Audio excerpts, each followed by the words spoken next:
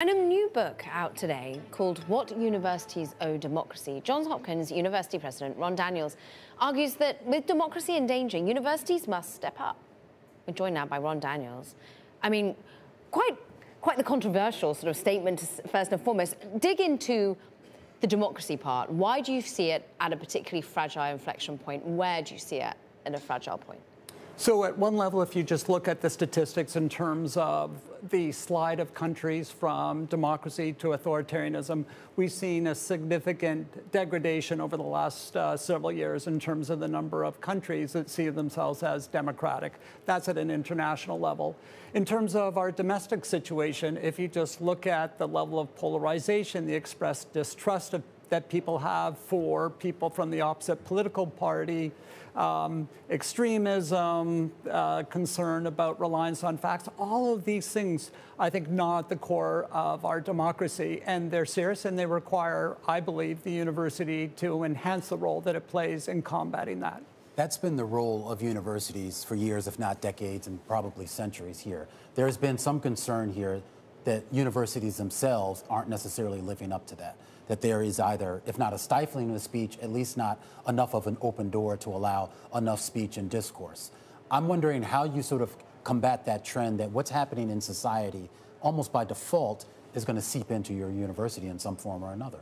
So I think that this is where the university has a role to play in understanding that at the core, we are about truth, fact, reason, and in order to be able to achieve those things, you need an environment in which contestation of ideas takes place, where people should be free to advocate uh, uh, with passion and hopefully with evidence in favor of the positions they hold. And you don't want to have a limiting effect on that kind of debate. But, but how do you do that in a large university setting? If you're a small liberal arts college or even on the opposite end of the spectrum and you have a fairly homogenous student body, if you will, and even a fairly homogenous faculty, it seems like it's easier to corral people. But when you have tens of thousands of students, all from different backgrounds, all from different ways of life, allowing that discourse to come from everyone, no matter how offensive some of those that discourse may be. How do you continue to allow that? So, first and foremost, this is where I think it's important for leadership to make it clear.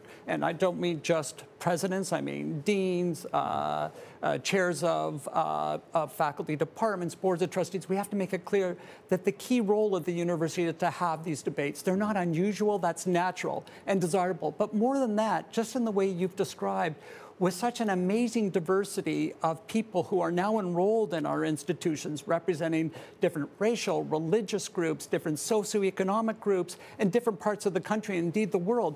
That's the place where we want to find ways in which we can increase the likelihood of engagement across those differences. And hopefully, we can model a kind of environment where we can do better than the world around us, where there's just so much distrust and polarization. So how does this play into curriculum then as well? Not only what people are talking about outside of the classroom, but how you build this into classroom where so many students are frankly just worried about what jobs they're going to get coming out.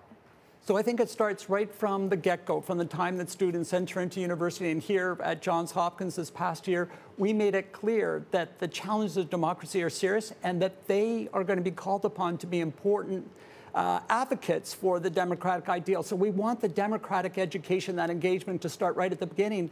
And how that happens, I think, is first and foremost uh, with uh, attending debates and events where they're not just in echo chambers with people who share the same ideas, but trying to find opportunities where they can see debates where there are positions, conservative and liberal, that are um, happening that are um, taking place in a way that they can see the possibilities of understanding and agreement that might uh, be uh, created across different political perspectives. Have we forgotten the art of debate? When I was at school, I was uh, I was in a debate team where you you took up positions that you didn't agree with. Mm.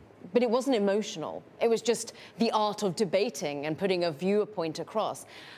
Has that been forgotten? Is that still taught, that element that you have to pick up a, a, baton that you don't believe in in some way and try and, in a rational way, describe it and fight for it? Well, I think, I think, I think we don't emphasize debate as much as we uh, have in the past. But I think more than that, what's really important is that we get students to come into environments where they have to think about what are the best and most generous ways in which you could argue for the position of someone you don't agree with, and starting to again build the capacity to um, turn down the anger and the ad hominem attacks that we see all too frequently in America and try again to make use of this diversity that we have in our student bodies to build bridges of understanding. That's the exciting, that's the exciting opportunity that waits us now in universities in this country.